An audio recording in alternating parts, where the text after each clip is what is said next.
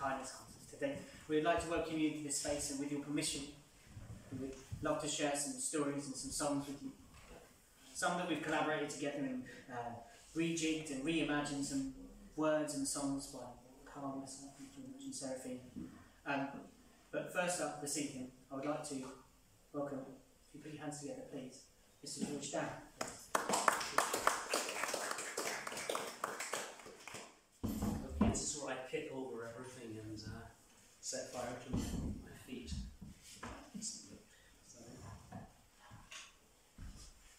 Oh gosh, it's not. Bit of jump on light, Yeah, that's that. Okay, well, welcome everyone. It's really nice uh, to see you all. Um, okay, I'm going to uh, do a couple of kind of short stories, really. Um, but a little bit of audience interaction, first of all, please, as everyone leaves immediately.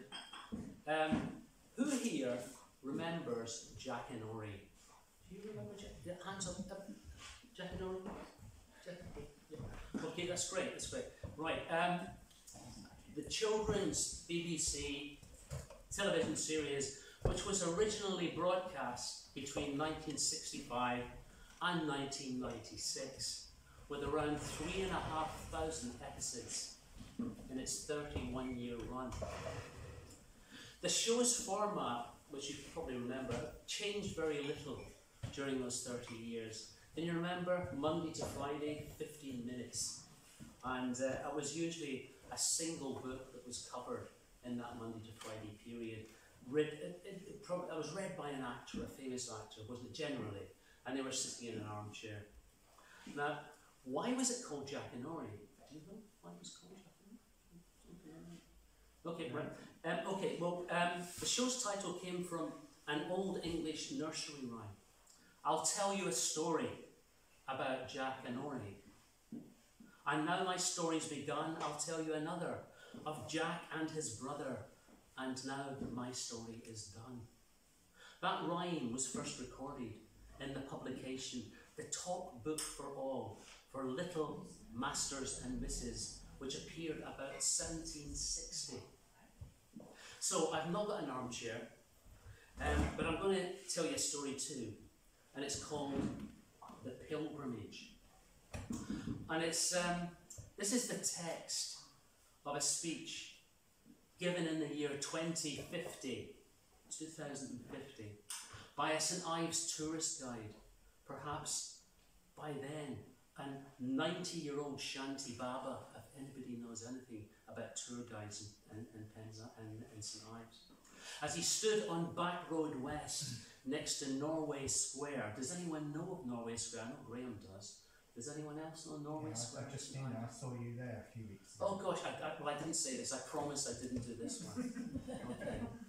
Um, right, well, it seemed a rather nondescript location, with the space now filled by a car park, only big enough for two medium sized vehicles at most, but which the council said would help bring in tourists and thus aid the local economy.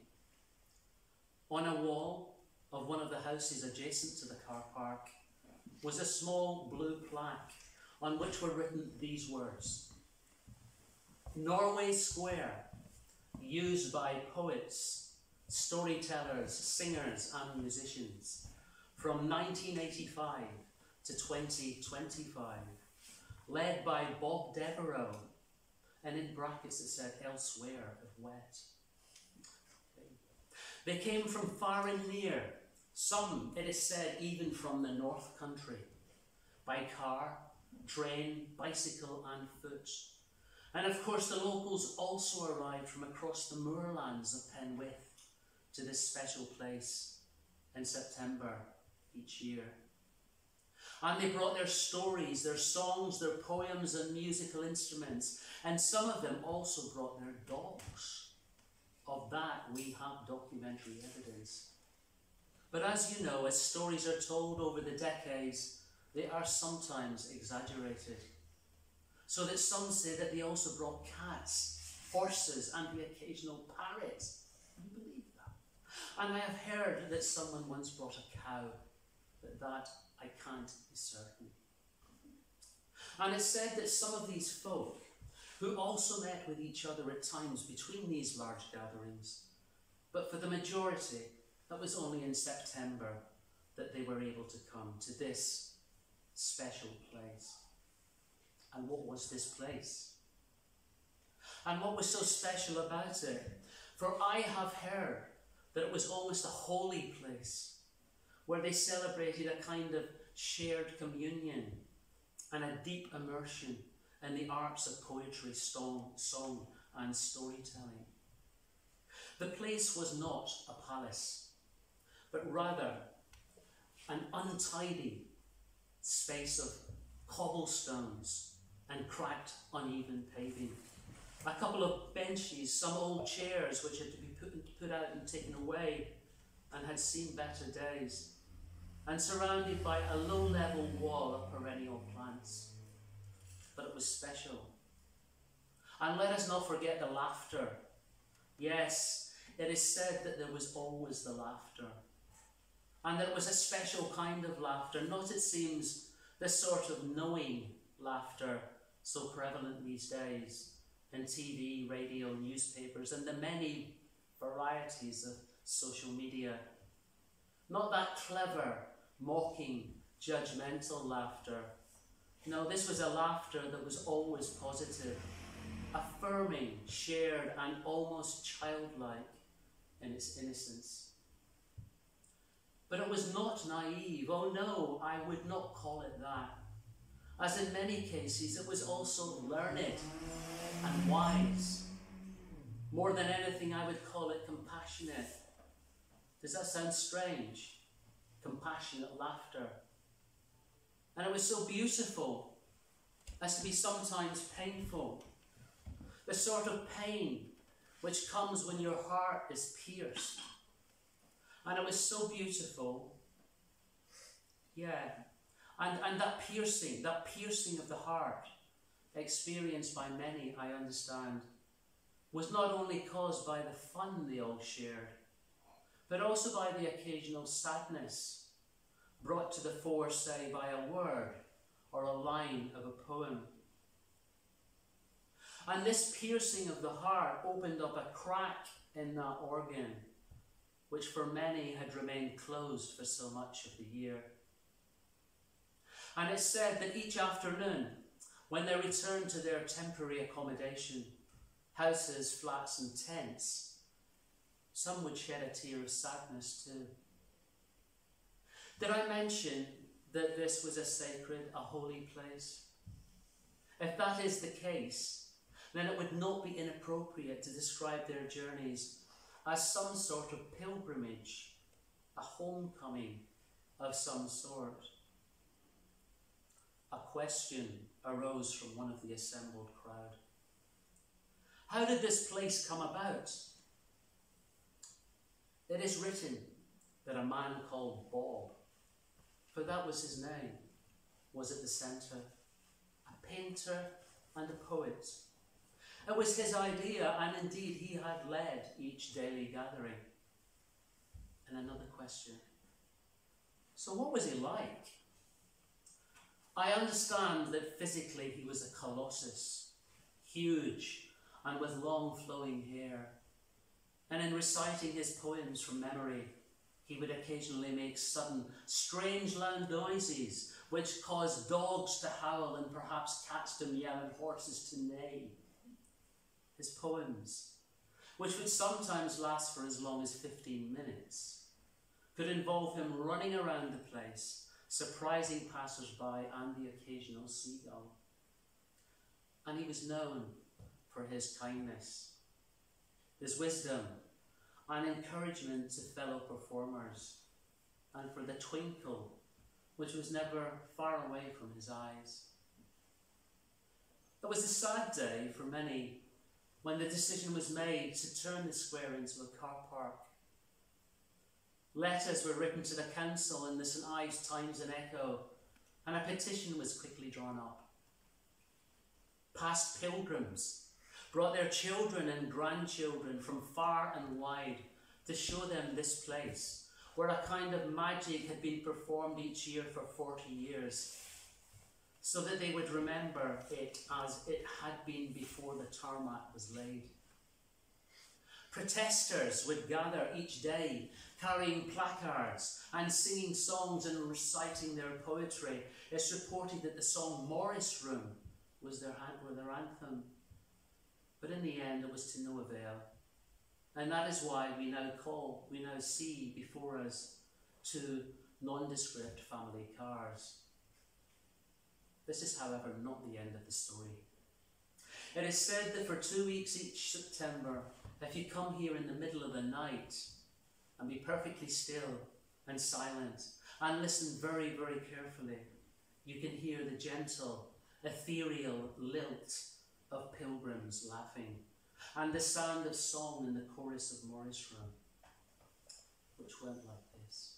You might remember from being here the other night. In the Morris room together, in the lamplight on the sofa, we made such a charming picture. We should stay this way. Thank you very much. Thank you very much.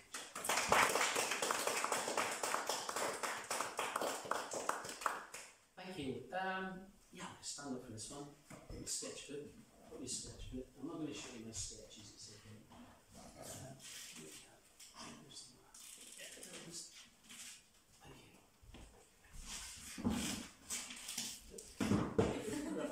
Okay. Right. Um, okay, we're going to stay with St Ives. Sorry, Penzance folk. This is St Ives. This is like Rangers and Celtic, isn't it? And Liverpool and it. I don't know. Anyway, right. This is the last one in St Ives. Um, in 2017, um, I went to a workshop called To Paint. No, hold on. That's the title of this. Called uh, The Confident Painter and uh, it was in the Mariners Gallery, quite close to Norway Square. On the 11th of September 2017. Um, okay, so afterwards I wrote this. It's called To Paint, Perchance to Dream. I can't make art. I'm not an artist. I think I can make art. I think I can be an artist. I want to make art. I want to be an artist. I will. I will make art. I will be an artist. I am making art. I am being an artist. And this is art. The sketchbook. I'm an artist. I can't make art. I'm not an artist. I was rubbish at art at school. I really envied the arty types. They all seemed to be into the Stones, jazz, and the blues. And their clothes, so lazily thrown together, were so cool. Maybe it was just about envying them. Maybe it wasn't about the art. Yes, I think that's it. The actual art, what they produced, I don't remember any of that. But I do recall the look and the scene, so seductive. But I just didn't know the language, the way in. I think I can make art. I think I can be an artist. Over the past six years, I've written lots of songs and a few poems and plays. I made music with my guitar, harmonica, and djembe drum. I've been in a band. I'm still in a band. We do gigs. We have fun. So is that not enough? Why is it so important to paint? Can't I just be satisfied with what I have, with what I do? Am I being precious and selfish? Should I just get a grip? Take stock of what I've got, leave the visual stuff to the experts, yeah. But who's an expert? I want to make art. I want to be an artist. Sometimes words and music just aren't enough. I mean, they're great, but sometimes they're just not enough. I went to see the Dylan art exhibition. This is back in 2017. Massive landscapes of empty roads and deserts. Mexican bars and New Jersey fairgrounds. Untidy splashes of colour. Yes, but why does he need to paint for goodness sake? And his paintings are pretty rough. They're not that great, technically, whatever that means. I'm not Dylan, but maybe I could have a go. What have I got to lose? And then I meet Fred. Fred's 92. He's an ex sailor and blacksmith. He would say, if pressed, that his claim to fame was repairing the arrow on the statue of Piccadilly Circus after it was damaged during the war. But in my eyes, he has a bigger claim to fame. You see, Fred is one of the most beautiful men I have ever met. He's so kind and loving, and he paints and paints. We talk endlessly about art, and he shows me his latest struggle in trying to copy a detail from Vermeer's Girl with a Pearl Earring. And he has a daughter in St. Ives. And he comes to St. Ives sometimes, and he gives me a drawing of the Digey, which I pin up in my house. Fred says I should paint. I will make art, I will be an artist. Right, let's do it. Straight after seeing the Georgia O'Keeffe exhibition at the Tate, I head for the shop and come out with a bag full of brushes, watercolour paints, introductory books, sketch pads, pencils, and even a rubber and a pencil sharpener with the word Tate in big letters all over that. I watch countless YouTube films on painting. I'm really going to do this thing. After a year, I still haven't taken anything out of the bag. What's going on? I make my annual visit to St Ives. Last year I attended two classes at the School of Painting, Sensory Landscapes and Sketch and Scroll. This year, an intro to watercolours, but before then, a session on the aforementioned confident painter for budding artists who have little or no confidence and just can't get going. Fred would have been so pleased with that. I am making art, I'm being an artist. I started to sketch to sketch. It's not good. It's hard work. But maybe with practice. Fred dies this summer, and I don't get around to showing him anything I've done. I feel I've let him down. Since then, I've come across several local folk who paint. This is in South London. Okay, there really are lots of painters around. I have another look at what I've drawn. It's a start. I can go on. So maybe I am making art and just not aware of it. It strikes me that if I'm not making my work, then nobody is. Maybe I am being an artist. Maybe one day I'll convince myself that this is art and I'm an artist. Maybe one day. Thanks very much.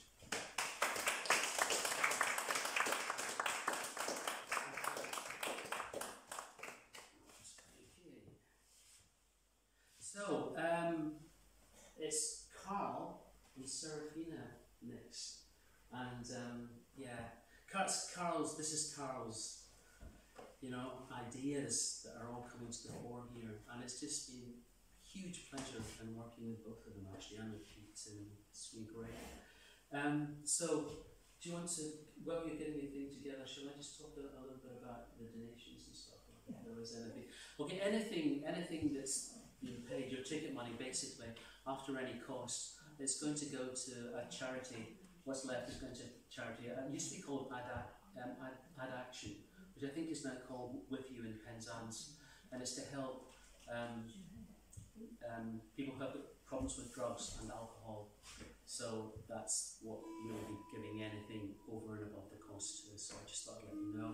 If you wanted to give any more, there's a little box which is virtually hidden over there, and you can put anything in there. But um, but you know, it's enough that you've come, so we're really more than delighted with that. So with that, I'm going to hand you over to Karl and Seraphina.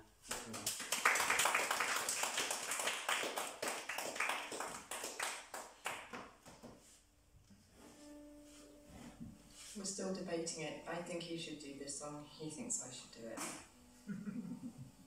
you should do it, Karl. It's your song. Go on, Karl. Yeah, it's your song. Yeah, see? See? Go on, Karl. You can do it. You can do it. I got plenty of singing later.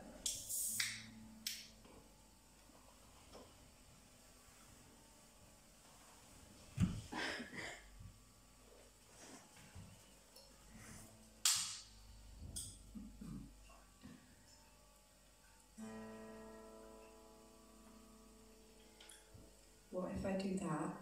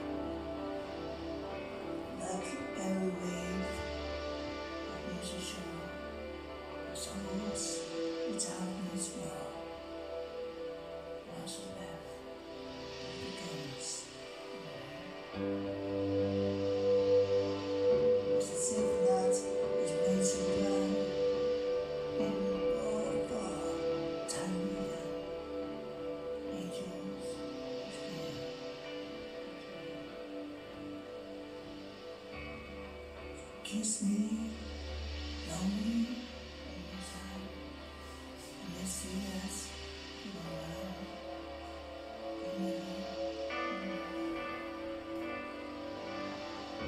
Kiss me,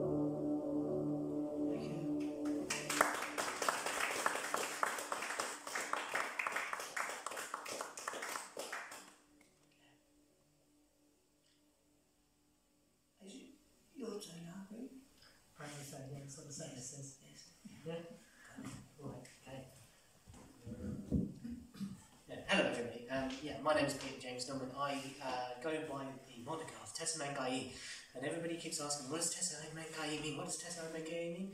It means five. That's all it means is the number five.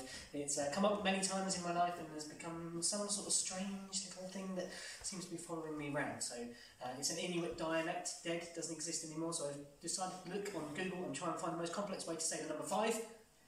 That's it. Tase Mangai. That's the, that's the most complex way to say it. So yeah, okay.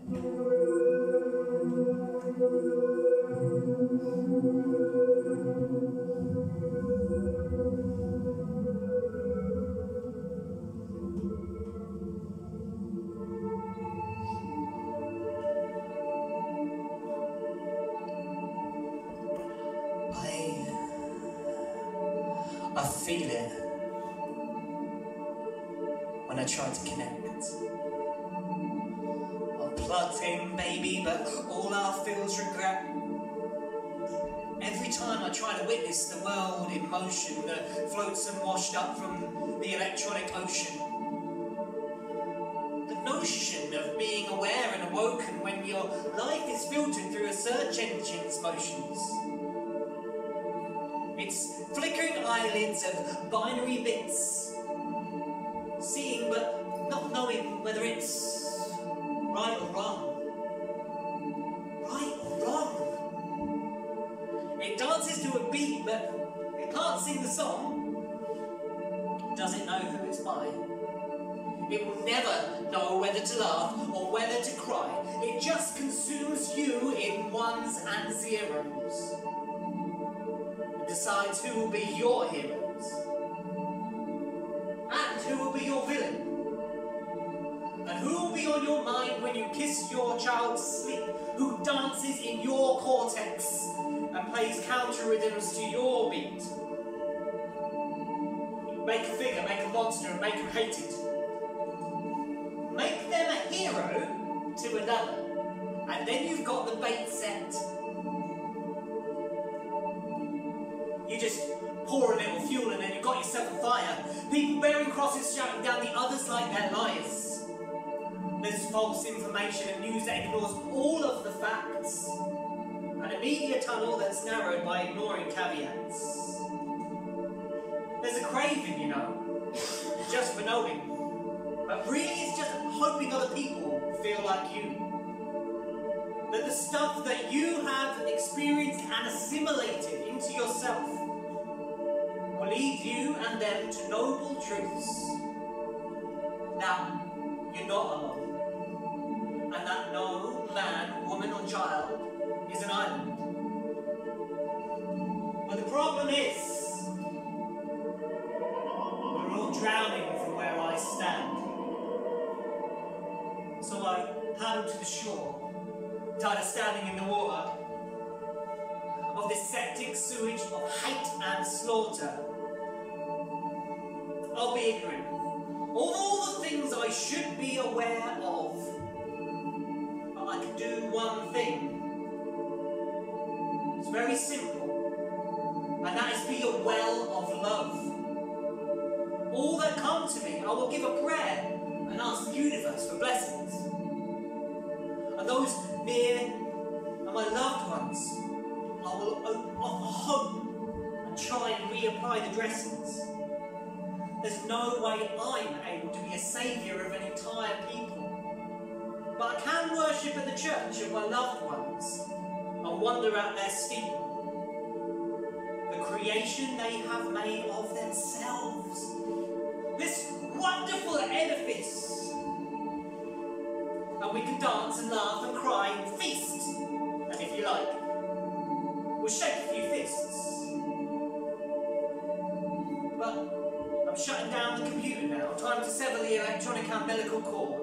And I'm, we are all going to share with you tonight a few chosen words. It's time to break free, sit back and unwind, searching for the answers you know are somewhere inside your mind. You can't find them because you've been clicking and liking online. I bid you, don't do it so much. It's soul destroying emptiness. Time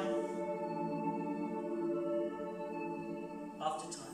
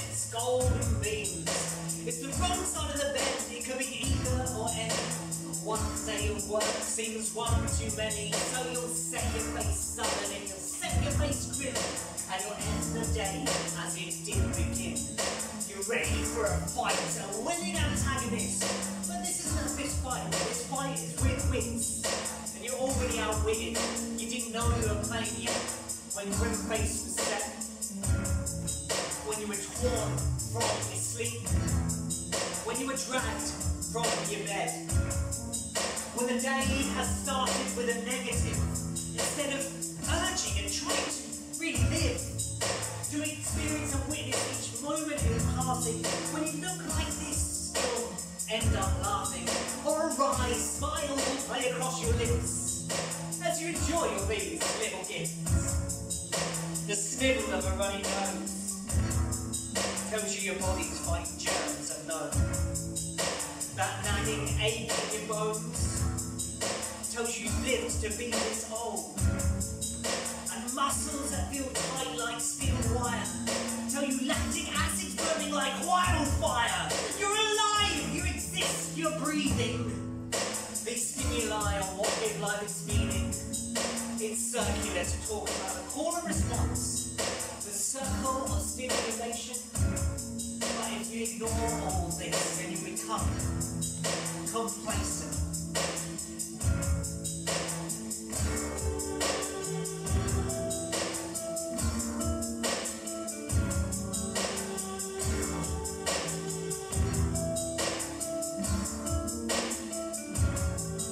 When you witness like this, all seriousness just dissolve into play.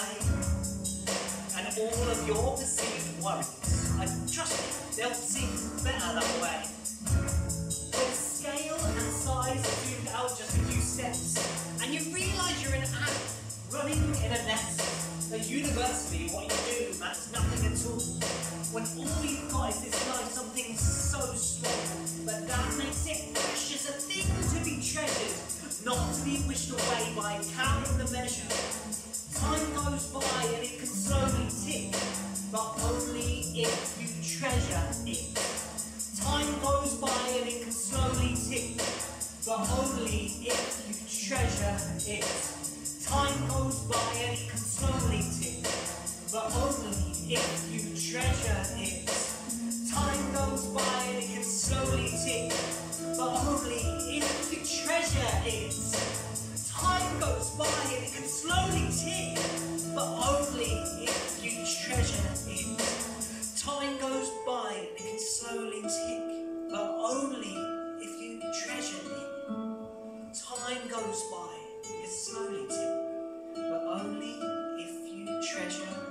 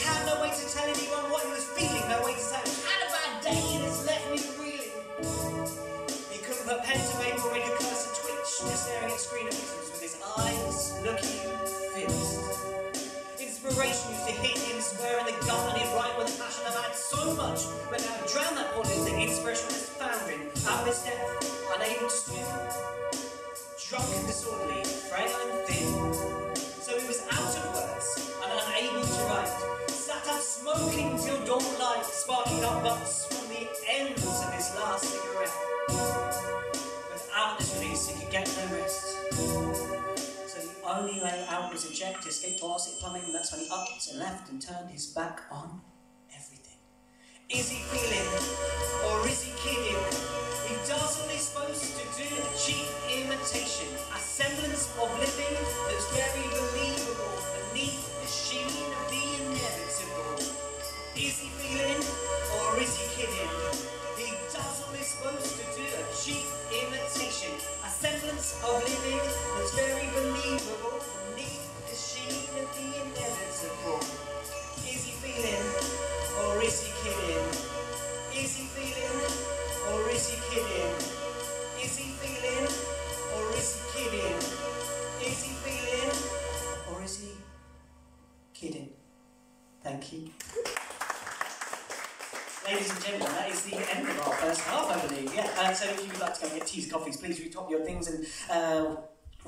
you shortly. Thank you very much. Thank you. They've kind of split. Yeah, uh, good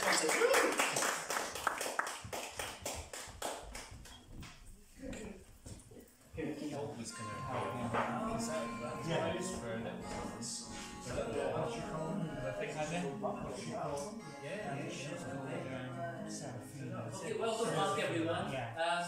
It's really nice vegan food here, isn't there? There's, brilliant flapjacks and stuff. So, uh, yeah, I've had three already, I think, so um, up the line down. Um, so, uh, second half, and um, introduce again P, uh, ambient point and musician. P. Yeah, thank you. Oh, a big hand, sorry. Thank you. That was welcoming. Um, uh, I ride a motorbike, and um, for some reason, one day in February in the lockdown, with the very unpredictable weather that we had at that time, I decided it would be a really good idea to go to Scythian's Lake and decide to walk round Scythian's Lake. With my friend, we've never walked round Scythian's Lake, we did not know how far it would take. We looked on Google Maps. Oh, two hours. Two hours Google Maps said to walk round Scythian's Lake. I think if you ran very fast, you might get round it in three um, on the day that we went, as it was knee deep with mud, the paths were ruined. And this is a little poem about getting there and going round and being very cold. Cool, crisp wind bites frail feeling fingers, and even when the bike engine stops, that cool sting lingers. Leathered flesh to protect mine, my frail pink covering, on a pale blue morning as I ride. By the wind rippled lake, I stop and watch the sky stream past. Roiling clouds roll by, and I take digital memories through electronic eyes, just in case I forget. Just in case I forget. Take to our feet, and we're wrapped up well, but we were not to know. Who could tell? That the heavens would open upon us, and pregnant black clouds birthing showers. On, off, on, off, on again as we walked for hours. Round that lake with the wind whipped peaks of water, storms whirling fury gave us no quarter. Lost in the middle of everywhere, but so far from home. I long to be back there, that place where I'm from. We gave ourselves to this day, and what it give us? Damp feet from trudging through the mud and the slush, sinking, squelching as we looked upon the lake reflecting the sky. And still those clouds roll and roll by. Try and try as we might, there seemed no end in sight, and the path decayed and degraded, and a glimpse of where we started. And we knew we'd made it. Rosy cheeked and limbs fit to seize, nose runs red, bless you please. I make it back, but I'm frozen to the bone. To the little house up the big hill, home. The little one's already tucked up in bed, little Zeds snoozing from a little head. My lover there to cradle my iced limbs, to run hot baths, make tea and other things. Wrapped in this love, I could ask for nothing. To think of all that time I was looking for something. Self-inflicting my suffering, but for joy today. Pat ourselves on the back. You know what? We did okay. I promised myself next time I'll be far more wary. As we made it round that lake in late February. Thank you.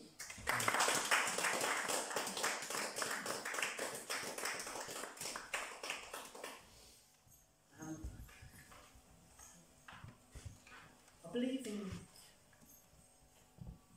synchronicity and spirit, that somewhere among this collection of neurons and mine and yours and the particles that spin, something that connects us all. I'm not religious, but I've seen a miracle.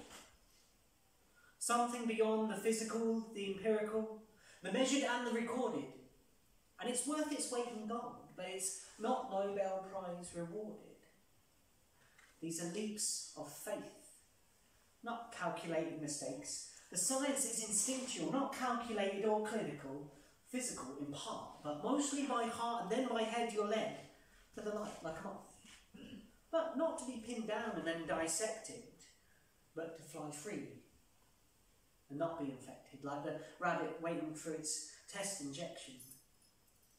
It's more like that milliliter of mercury waiting for its magnetic connection. You slip seamlessly becoming one in the space of a breath. Inhale that split second, and you've completed the test.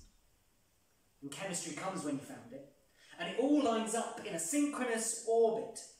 And you're not the centre, but you're just part of the majesty, the celestial bodies of people surrounding me. The particles spin off and then they'll join again. Newborns form and form a new chain, a spiral arm reaching forever. But not in the stars. It's connecting each other. Me, you, my sisters, my brothers. We are grown from Gaia, the mother of all mothers. And that's all we know. And we stop at a certain point because knowledge is not exponential. And there are questions that will go unanswered. And I find that wonderfully understandable. And now I know I need not die to look upon the face of God. Because He's here in each of you, in this space, with what we all have got. Thank you.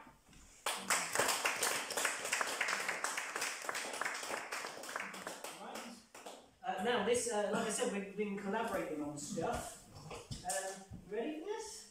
Yeah. So this is our first one of where we're all doing stuff together. It is a song uh, that I wrote uh, seven years ago? Seven? Eight years ago? I don't know. But I'd never heard it like this until the other day when we were in my cars and everybody started joining in and it was quite wonderful. And uh, um, yeah, it, it, hopefully it sounds wonderful today. We, we don't know. Uh, it won't be this, um, Bob. It won't be this. You can mute um, No, Bob no,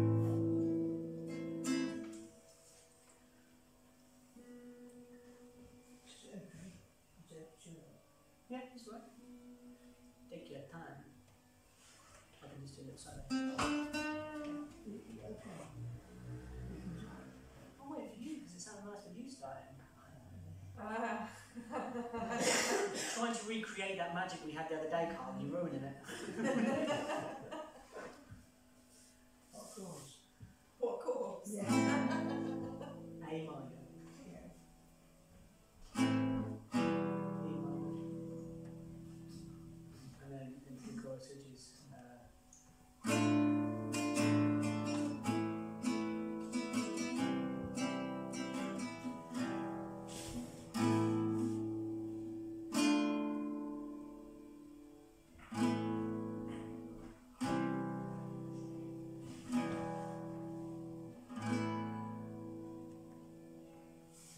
Dot on. Just have a bit of a sound- soundscape on that and then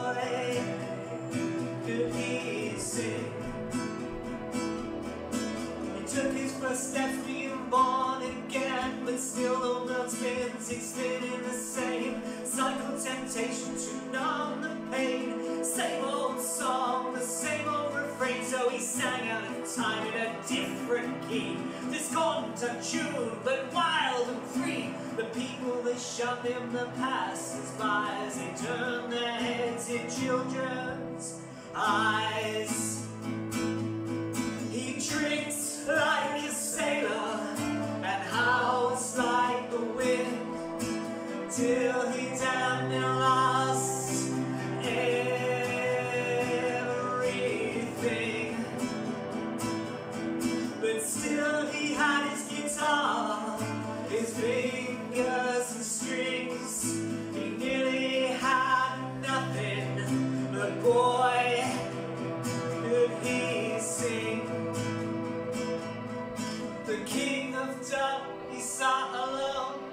king of his temple and magic throne. Now he still drinks, but to no one else's health, the king of dirt has found himself.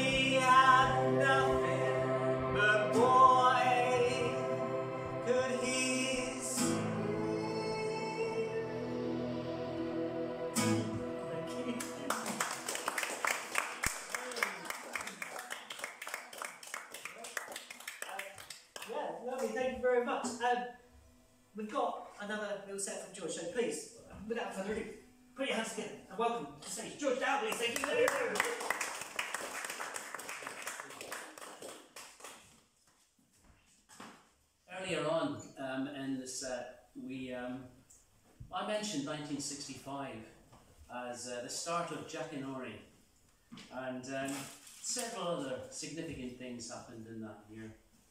One of which we're going to come to now in this story.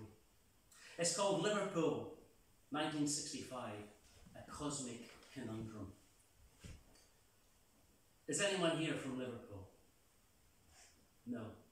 Okay, well, I'll just change that. No, I'm not joking. Hopefully, you will still find this interesting. You're probably still aware of the incredible impact which Liverpool has had on the music we listen to, and even maybe the way we view the world. And perhaps this all started back in the midst of time during that hazy, blurry decade of decadence, hopes, and dreams, the 1960s. In fact, right in the middle of that decade, 1965. It was then that Allen Ginsberg, the late American beat poet, visited Liverpool in May 1965 as a friend of Bob Dylan, who was doing his infamous UK tour at that time. Ginsberg made this announcement. This is what he said. At the present moment, Liverpool is the centre of consciousness of the human spirit. That was his exact words. I'd like you all to remember those words as they're very important to the story I'm about to tell you. In fact, to help ensure that you remember, it would be a good idea to say these words together, out loud, together.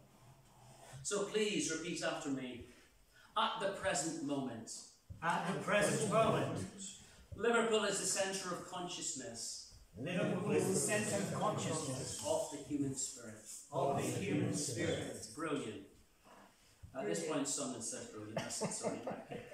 It's interesting to reflect on what was happening in Liverpool in May 1965. Four things immediately spring to mind. One, Liverpool won the FA Cup for the first time, beating Leeds 2 1 with Ian Callaghan doing a right wing cross to my boyhood hero Ian St John, who threw himself at it at a flying header into the net for the winner. Number two, the Beatles, as usual, Ticket to Ride was number one in the hit. Remember the hit parade? Whatever happens to hit parade? Number three, the aforementioned Dylan was playing at the Liverpool Odeon on the 1st of May 1965. And four, Harold Wilson, MP for Huyton in Liverpool, was Prime Minister, with Labour having ended 13 years of Tory rule just five months earlier. Yeah. Yes, absolutely. So, what we appear to have here, I'm sure you've noticed, it's a glorious, cosmic alignment of football, music, and politics.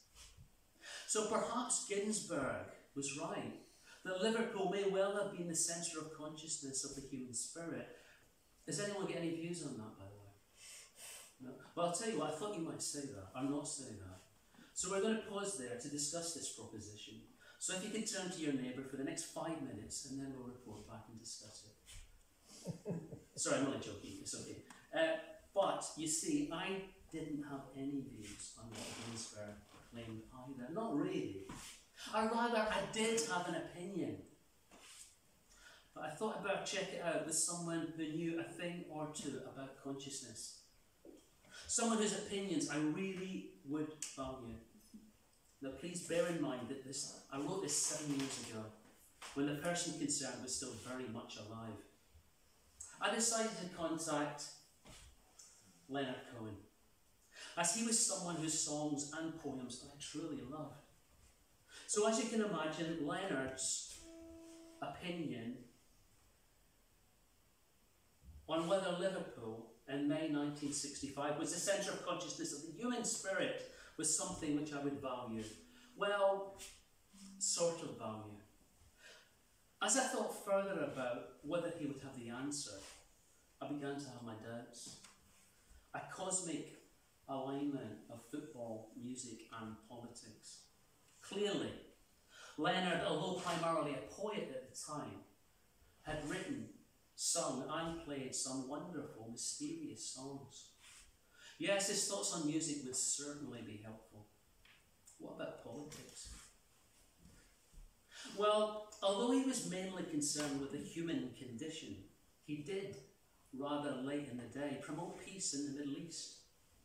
Although initially playing songs with the Israeli army in 1973, in 2009 he returned to Israel to play a show billed as a concert for reconciliation, tolerance, and peace, donating the proceeds to groups working to promote peace between Israelis and Palestinians. And of course, he wrote democracy and the future, with the latter's words still so potent today. Everybody knows that the war is over.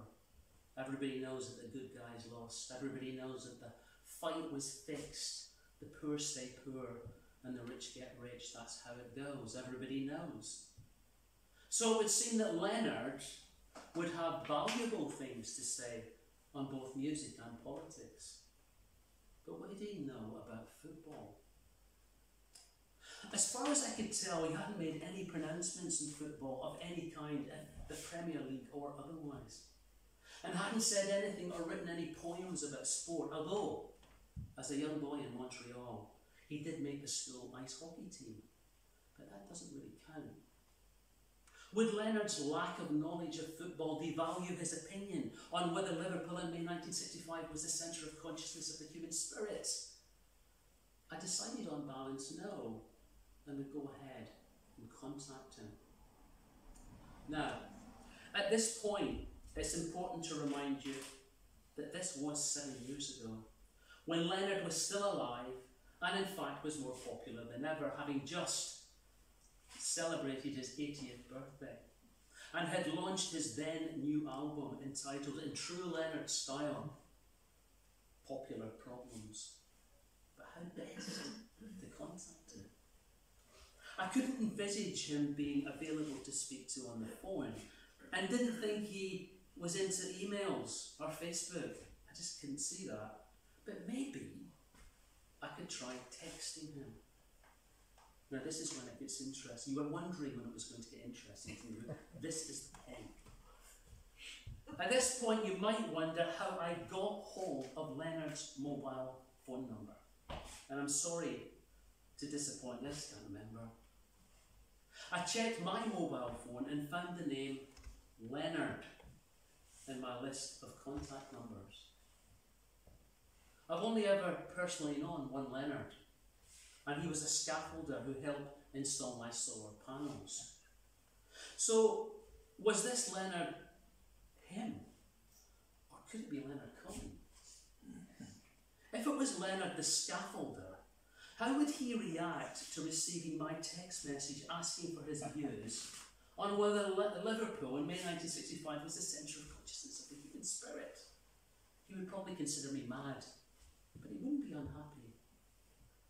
So I decided to send the text and hoped it might be to the right Leonard. A month passed, no reply. Then, amazingly, I got a response, and from the right Leonard. And this is what he wrote. He asked me to thank everyone for their good wishes on his 80th birthday, which I have to say confused me because I hadn't said anything about that at all. And then, unbelievably, he wrote on the subject on whether Allen Ginsberg was right about Liverpool, and this is what he said. He reminded me of the chorus of this great song Anthem, that we all should ring the bells that still can ring. Forget your perfect offering, there's a crack, a crack in everything, that's how the light gets in. Now, while appreciating the beauty of those words, I texted back Leonard asking him what relevance they had on the Liverpool question. His reply came back instantly. He suggested I spend a few years up a mountain and then it would all become clear. Thanks, Leonard. That's really helpful, I texted back. But with climate change and everything else going on in the world today, I just don't have the spare time. I waited for his reply, but ran out of battery. And now he's gone. And I'll never know his views on the Liverpool question. But I suspect he would have agreed with Ginsberg. We'll never know for sure. Except that on his final album, released three years after his death, if you listen very, very carefully to the third verse of the seventh song, you will hear Leonard quietly utter the word yes. Which I personally understand to be a message from the grave, an answer to the Ginsberg question, and that we can all now, with some certainty, agree that Liverpool and Mighty's main exit of London was the centre of consciousness of the human spirit. But as this is all just a made up story, we'll probably never know for sure. Thanks very much.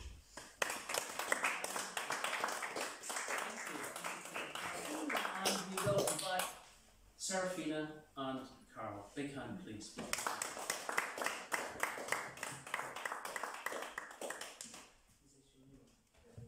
It is, yes. Yes, Yeah. This is another one of our um, collabs that we kind of uh, together on, on Thursday. Karl wrote me this song on Sunday so that I could sing tonight because I think deep down he knew I was going to force him into singing his own song. That's how. I think it's called Dom Chanty.